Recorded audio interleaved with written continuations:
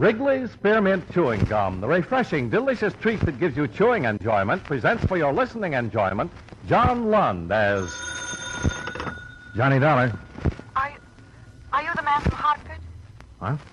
What was that? Are you the insurance investigator? Yes, that's right. You're here about the Emil Carter shooting? Yes, who is this? This is Janice Late. Is this a gag? No, it isn't a gag. Oh, it's about time you gave yourself up, isn't it? No, I won't, because I didn't kill him. Then why did you take a run out? I don't know. I've done everything wrong, but I didn't kill him. I want to talk to you if you'll promise not to go to the police first. All right. I can promise that. How can we work it so I'll be sure? You'll have to take my word for it. I'll meet you any time you say.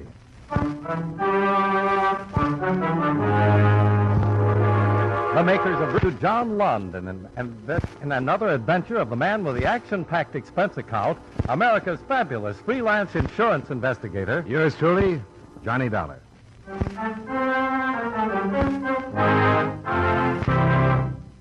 Wrigley's Spearmint Chewing Gum. Spearmint Chewing Gum gives you real chewing enjoyment. Yes, for chewing enjoyment plus Spearmint Chewing Gum. The lively, delicious flavor of Wrigley's Spearmint cools your mouth, helps keep your throat moist, and gives you a nice little lift. The good, smooth chewing of refresh and alert adds. So for chewing, treat yourself often to gum. Healthful, delicious.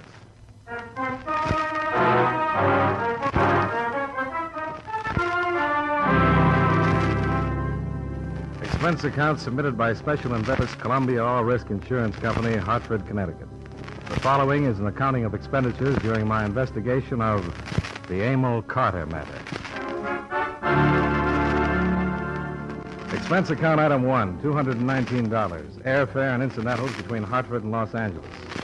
For a day and a half, the police investigation of the murder of your policyholder had taken the form of a search for the girl who phoned me, Janice Late.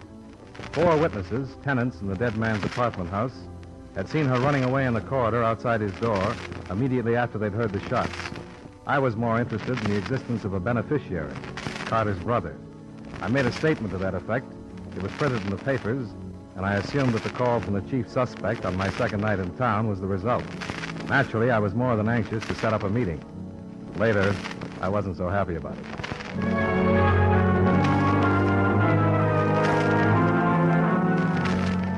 According to arrangements, I cabbed out to the harbor section, a suburb called San Pedro. There I found the address she'd given me, a sporting goods shop in front of which I was to be picked up. I stood there for about 15 minutes, admiring the fishing equipment in the window, as if I knew what it was all for.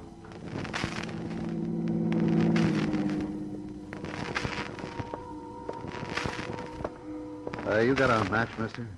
Huh? Oh, yeah.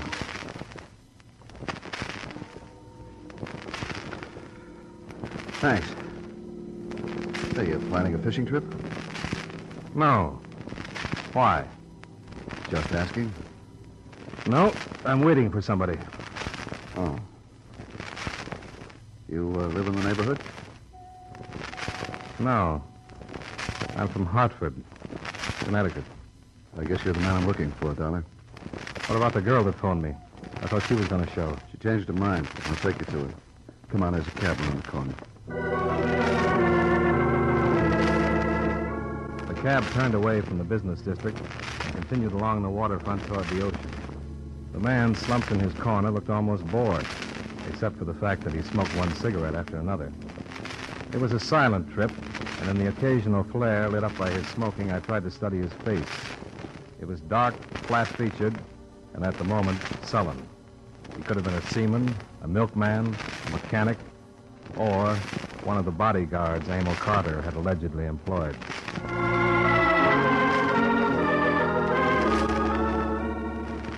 We left the cab in front of an isolated cafe, and he led me down a narrow road to a parking lot near the outer breakwater of the harbor.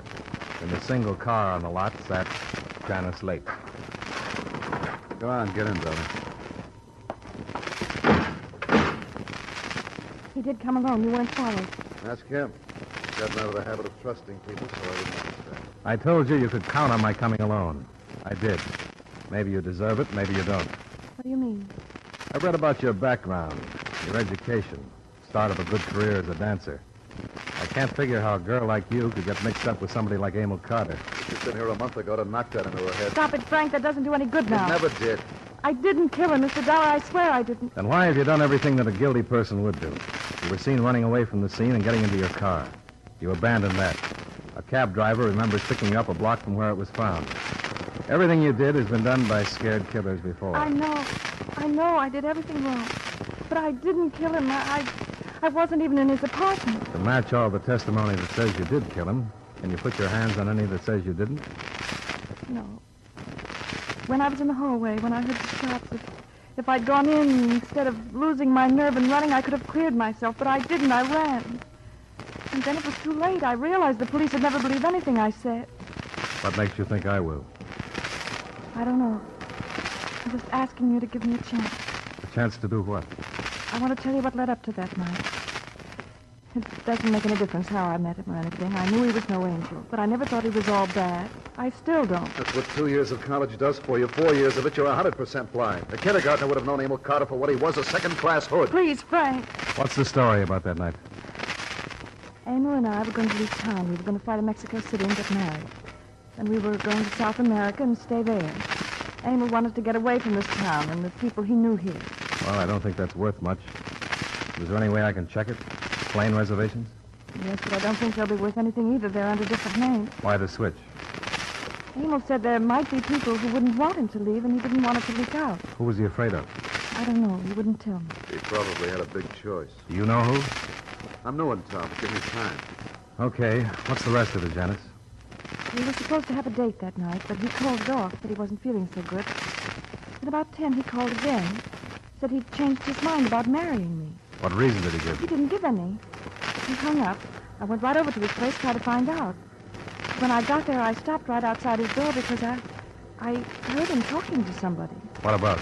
I couldn't understand the words. I started for the door again, and when I heard the shots. I don't know what happened to me except that I thought whatever was happening was somehow my fault, and I ran. That's all I know. That's all? Yes, Did you hear the other voice? Could it have been a man? I don't know. But there must be a way to find out who was in there with him. Well, I'm only as good as the material I have to work with, and you haven't given me any. You, you won't try to help, I'll do what I can, but don't go making plans for a happy future. and you won't tell the police. About meeting you? I doubt they'd believe me if I did. Okay, you can phone me if you think of anything. All right. You coming with me, Frank? Now, maybe I can con Dollar into that cafe. I want to talk to him. Can you afford a cup of coffee, Dollar? Temporarily, yeah. I got an expense account. No, let's go. Don't bother memorizing the license number. It won't lead you any place. It's rented. Thanks for telling Uh, it's not generally known that Janice has a brother, is it? Do you think she has? Well, you're too young to be her father. You don't act like the man scorned. Uh, tell me, why do you think a man killed Carter? I didn't say that, did I? You asked her if it couldn't have been a man in his apartment. That was a question the insurance company wanted me to ask. He carried a life policy with his brother as beneficiary. We can't find it. Ah. Hadn't even thought of that kind of an angle. Neither of the police. It's open and shut against Janice. Do you think she's guilty? No, Can you prove it? no. Do you have any other brilliant answers? Yeah, d- uh, do you know Emil Carter was married? You could be tossing some bait in to get them off your sister's trail. I'm not. A common law wife. Been paying her $1,500 a month to keep it, among other things, a secret. He dropped out of sight, that payment would stop. Why didn't Janice tell me this? Because she didn't know. You didn't tell her? No, I had a better idea, but it backfired. Janice has got me to thank for this mess she's in. I tipped Carter's wife that they were leaving for Mexico. But how did I know Janice would go storming up to Carter's apartment? I don't know, but I wish she'd called another detective. Looks that bad for you? Couldn't look worse. What's the name of this uh, wife? Hazel. She uses Carter? That's right. Well, I guess I'll change my mind about that coffee. Maybe I'll see you again. Sure. Thanks for the trip.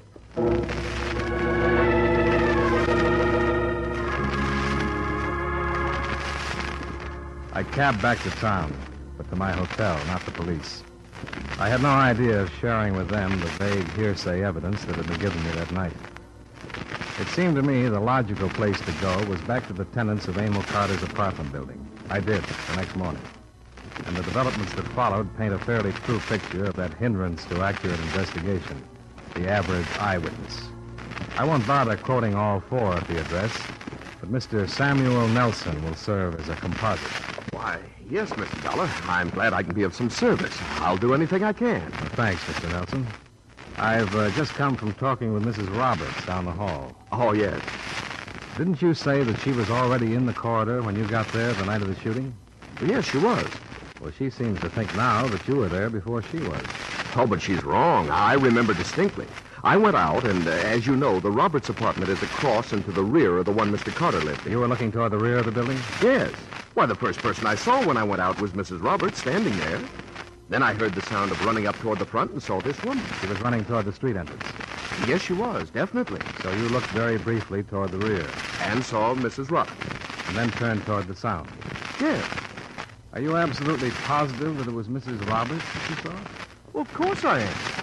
Was anything said? No. Oh, nobody said anything for a minute. But we were startled, you know. Now, Mrs. Roberts remembers that as soon as she came out and saw you, she asked you what had happened. Well, she's wrong.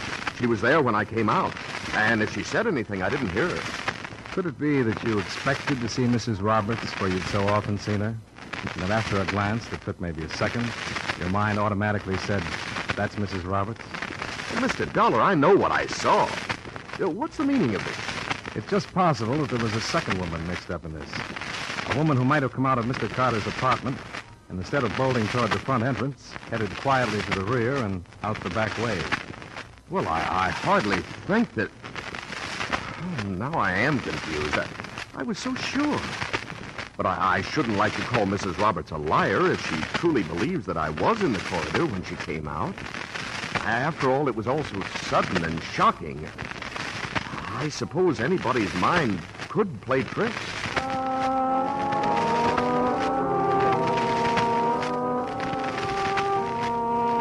In less than an hour, four positive witnesses had broken down in the face of doubt. None of them could swear that there had been a second stranger in the hallway, neither could they swear that there hadn't been. And by the end of it, none of them was certain that Janice had come out of the Carter apartment. I wondered how the police would react, and I found out from the man in charge of the investigation, Lieutenant Scott, Central Division Homicide. So you broke down their statements. You think that's quite an achievement? I didn't break them down. I asked them if they were sure of what they'd seen, and they said they weren't. Well, I'll lay you ten to one that if I had time, I could go out there and make them swear that their first statements were true. But I don't have time. I've got three other cases to work on. Janice Late's life might depend on it. I thought maybe you'd want to be sure. Who can be sure of anything? The DA and a good defense lawyer get a hold of those people, they'll probably tell two other versions. That's the way witnesses are. Yeah? What makes you think this late girl is innocent? I didn't say that. I'm still dreaming about an insurance motive. Maybe 50 better drop it. Every day she stays in hiding makes the case against her stronger. She could be afraid of all the circumstantial evidence stacked up against her. To us, it isn't circumstantial. Uh, what about Carter's wife? Well, what about her? Have you questioned her? No more than we've questioned his other relatives or friends. Now, look, we've got a case against Janice Late Dollar, and when we get a case, we don't start out to break it down. If we did, nothing would ever get settled. Okay, Lieutenant. Sorry I took up your time.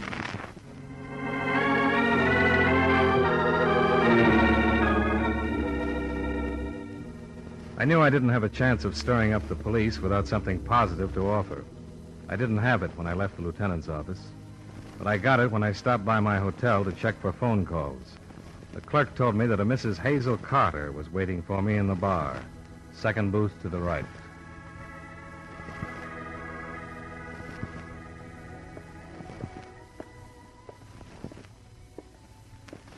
Uh, Mrs. Carter? Yes? My name is Dollar. Oh, yes. Would you like to sit down? Thank you. Why did you get in touch with me? I think we have a common problem the death of my husband. I thought you didn't talk about the marriage. I haven't for, for a long time. Not because I didn't want to. But I, I have been notified by the brother of Janice Late that I was called a possible suspect. Yes, your name did come up. Naturally, I'd like to do away with that suspicion. With a semi legal arrangement that comes close to blackmail, I can't say that I blame you. Uh, how do you plan to do it? I want you to tell me how to go about offering a reward for any help in bringing about the arrest of Janice Late. Reward or the price of getting the pressure off you? Couldn't we go to your room to talk about it? Sure, Mrs. Carter. I'm anxious to hear the amount we're bargaining for.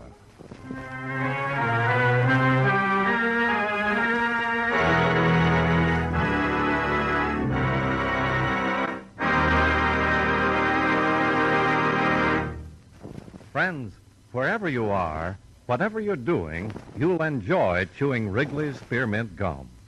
Chew Wrigley's Spearmint while you're working. Lively, full-bodied flavor of Wrigley's Spearmint gives you a refreshing little lift. The smooth, pleasant chewing of Wrigley's Spearmint Gum helps keep you feeling relaxed and satisfied. Makes your job seem easier. Chew Wrigley's Spearmint Gum in your home, when you're out walking or driving, when you're enjoying sports and other activities. Wrigley's Spearmint Gum tastes good anytime, and the natural chewing aids digestion and helps keep your teeth bright and attractive. Yes, wherever you are, whatever you're doing, you'll enjoy chewing Wrigley's Spearmint Chewing Gum. Healthful, refreshing, delicious. And now, with our star, John Lund, we bring you the second act of Yours truly, Johnny Dollar.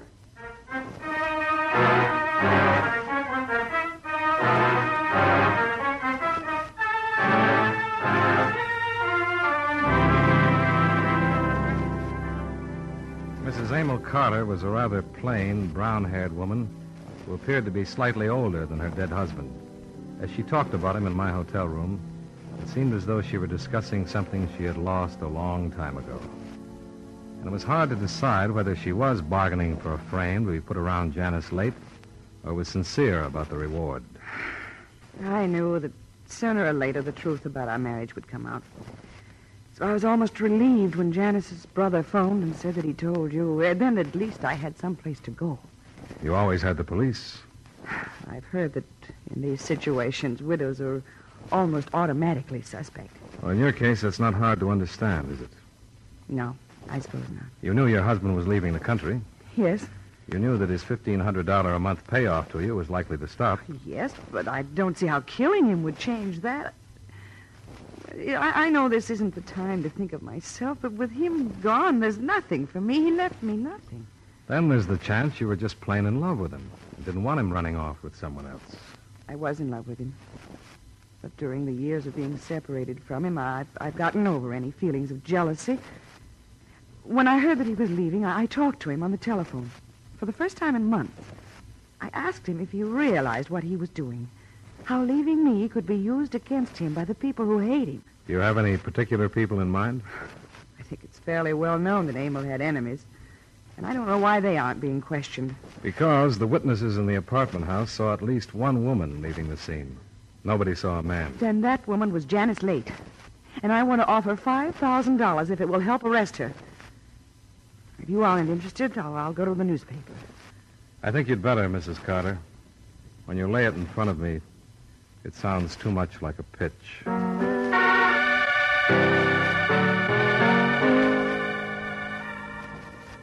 Her story made the front page of the paper I bought under the heading Cooling Murder Sparked by Reward Offer of Mystery Widow. And strangely enough, it sounded sincere, not slanted toward Janice Late as I'd halfway expected, but offering $5,000 for any information leading to the arrest and conviction of the person or persons guilty of murdering Emil Carter. I didn't know how the police were faring, but as far as I was concerned, reaction set in almost immediately.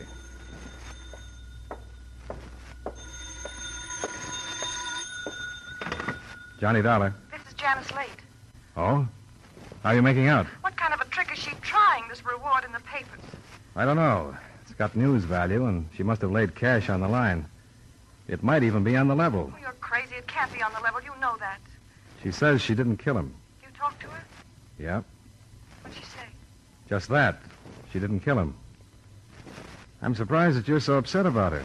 According to your brother, you didn't even know about her. He told me about it last night. What's this going to do to me? I don't know. But I think you'd better give yourself up. No, I won't. There's too much against me. The police don't care that I didn't kill him. They don't care who they get, just so they get somebody. So they'll have to find me. The longer you stay out, the worse it looks for you. Now listen to me. The witnesses who saw you outside Carter's apartment aren't sure now that they didn't see somebody else, too. On the strength of that, give yourself up. Maybe we can do something with it. No. I, I'll have to think. I'll have to talk to Frank. I don't know what this reward's going to mean.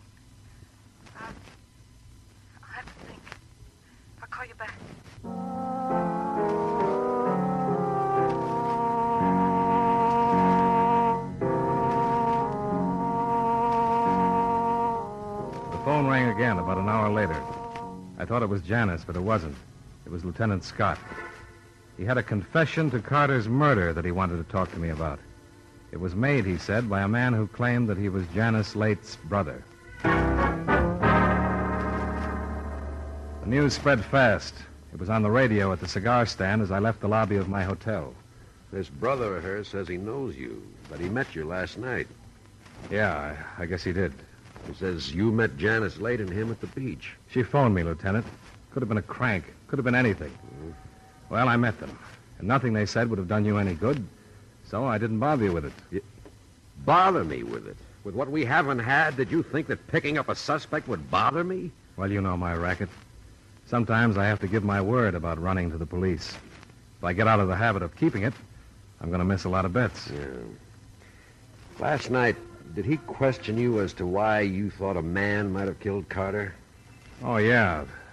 I was thinking of the beneficiary. Uh, he said that when you mentioned that, he figured you had something on him, and when the reward was posted, he decided to give himself up. You sound like you don't believe him, Lieutenant. I'll be honest, I, I don't know. You think he's protecting his sister? I said I, I don't know. You want to talk to him? If it'll help. Well, it might. I'll send you in.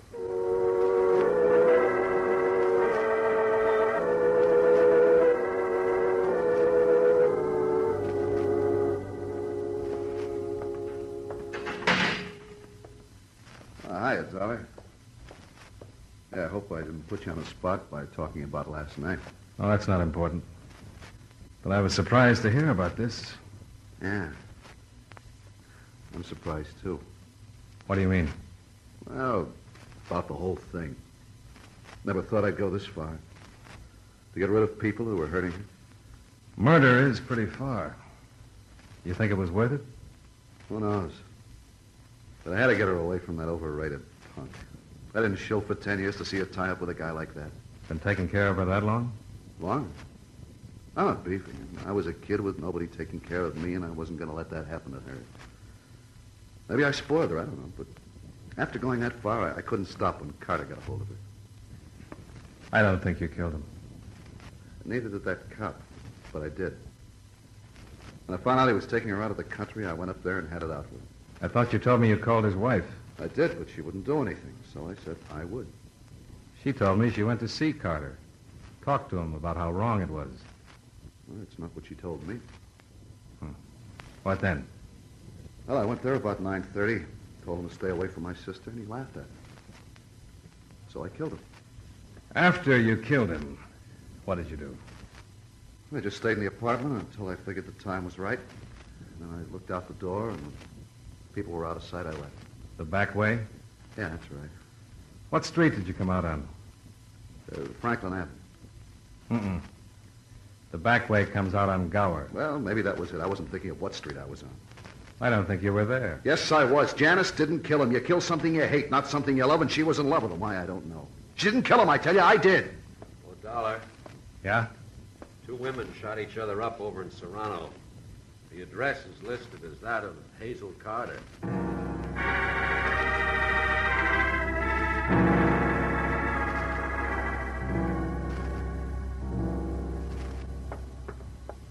Hi, Lieutenant. Hello, Doc. Everything under control? I think so. How are they? They're both still alive. That's about all. Hey, Here's the late girl over here. Janice? Janice. Do you remember me? Yes. Is she dead? We don't know yet. I hope I killed her. Why, Janice? My brother thought I killed him. He tried to save me by lying. When I... When I heard, I... I knew it had to be Hazel. It, it could be... Could be anybody. Better leave her alone. Here's the other one. Hello, Hazel. Never thought this... Well, take it easy. Did you kill your husband? Yes. He was going away with her. I didn't mean to. But he was going away with her. I couldn't let him leave me. Lieutenant, this one's gone. Hmm. She died without finishing her statement. I don't think we need a statement. We got too many now. From too many eyewitnesses.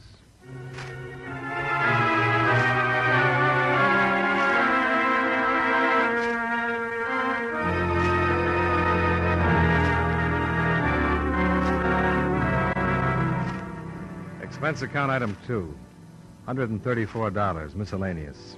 Item three, same as item one, transportation back to Hartford. Expense account total, $572. Remarks? Well, I was wrong right from the beginning. I'm not making excuses for it, but I wasn't as far wrong as the brother, Frank. If his false confession had ended it, he wouldn't have taken the rap for his sister, who he thought was guilty, but for Hazel Carter, who he was afraid was innocent. Yours truly, Johnny Dollar.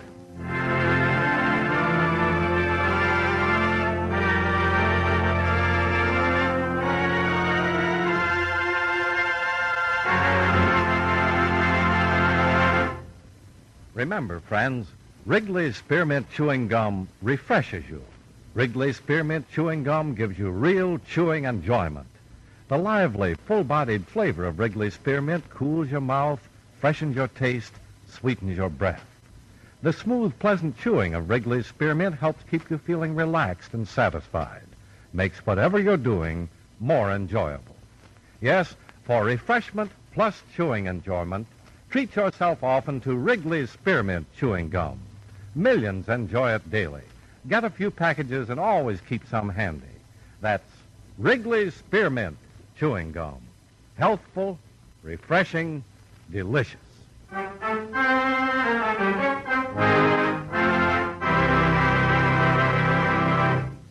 Yours truly, Johnny Dollar, brought to you by Wrigley Spearmint Chewing Gum, stars John Lund in the title role and was written by Gil Dowd with music by Eddie Dunstedter. Featured in tonight's cast were Mary Jane Croft, Hy Averback, Frank Nelson, Mary Lansing, and Hal March. Yours truly, Johnny Dollar, is produced and directed by Jaime Del Valle.